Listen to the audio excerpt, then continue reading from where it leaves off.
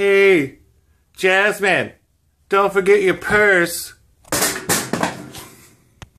She did it again. She hit me in the face with my purse. Ugh. Girl, you put that dress you had on for four months on her. That that would make me go crazy too. Could you just help me up? Please? What am I gonna do? I can't keep getting hit in the face with my purse. I know, that poor purse. Uh, my face is way more important than that purse. See, I like the purse better. Marquis, have some sympathy. She's been hit in the face really hard. I think it looks like it's gonna swell. It's okay, Savanna. I got something for her anyway. Hey, Marquis, can you watch my purse? Hey, Jazmine, how about stop hitting girls in the face with your purse? God. Um, what are you worried about what I'm doing, Farrah? Farrah, Jazmine's got a problem with hitting people in the face. Bitch, I don't have no problem. But hitting you in the face, that ain't a problem. yeah, you'll have a problem then. Um, Jazmine, you've got a problem now. I don't think so, Farrah. Here. Um, Farrah's not gonna forgive you for that. So what? Real funny, Jazmine. It uh, was real funny, Vera. No, no, it wasn't funny. You've messed up my hair. Oh well, Marquis. Just gonna have to fix it yourself. I'll help you, Marquis. What about Miss Deegan? Can't we talk about me and how beautiful I am now? Beautiful to them, ugly to us. My purse has your name on it, okay? A couple times. Now that you're beautiful, Miss Deegan, you have to act beautiful. Yeah, girl.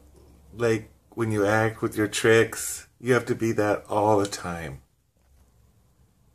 And it's hard. It's hard.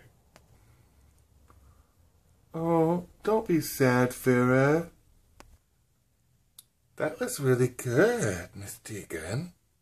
Now, can we talk about them hairy shoulders again, please? Water buffaloes have hairy shoulders, Miss Deegan. Water buffaloes. Savanna, can I borrow your purse?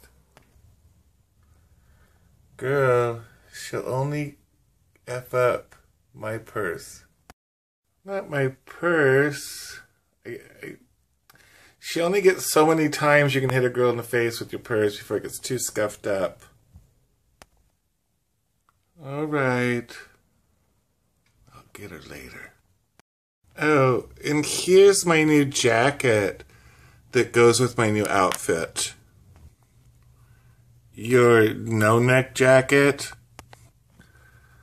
I have a neck. Farrah, what do you think?